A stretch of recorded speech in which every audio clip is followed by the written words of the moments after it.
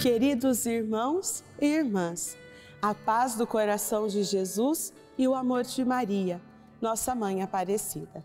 Sou irmã Ana Gabriela, apóstola do Sagrado Coração de Jesus, e neste encontro veremos um pouquinho sobre o teto da espiritualidade.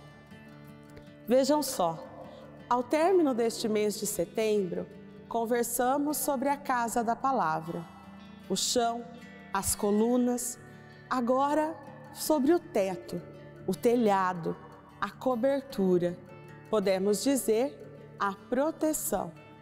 A renovação da nossa espiritualidade começa a partir da centralidade da palavra de Deus, ou seja, do Evangelho, regra suprema para todos nós. É a sua vivência que dá beleza aos nossos compromissos e batizados. Deus se faz próximo por amor e caminha com o seu povo. Um Deus presente na Eucaristia, na Sua palavra, presente nos mais pobres e humildes. O Senhor ama-nos com ternura. Não nos ama só com palavras. Na origem de tudo, está o encontro com uma pessoa, Jesus Cristo. Às vezes parece fácil rezar, cultivar a vida espiritual, outras vezes difícil. O que devemos fazer então nessa sucessão de entusiasmos e desânimos? Devemos aprender a caminhar sempre. O verdadeiro progresso na vida espiritual não consiste em multiplicar as orações, mas em ser capaz de perseverar em tempos difíceis. Caminha, caminha, caminha.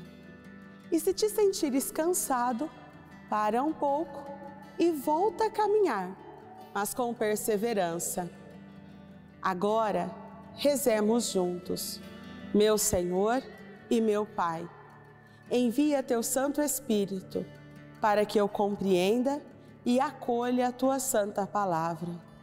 Que eu te conheça e te faça conhecer, te ame e te faça amar, te sirva e te faça servir, te louve e te faça louvar por todas as criaturas.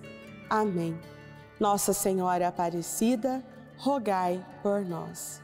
E nesta última semana do mês de setembro, nossa tarefa para casa. Continue a leitura do Evangelho de São Mateus, descobrindo a ternura e a proximidade desse Jesus que tanto nos ama.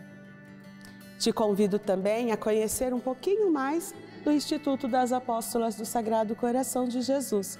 Entre em contato conosco. Será uma grande alegria conversar com você. A todos, uma abençoada semana plena das bênçãos da Mãe Aparecida.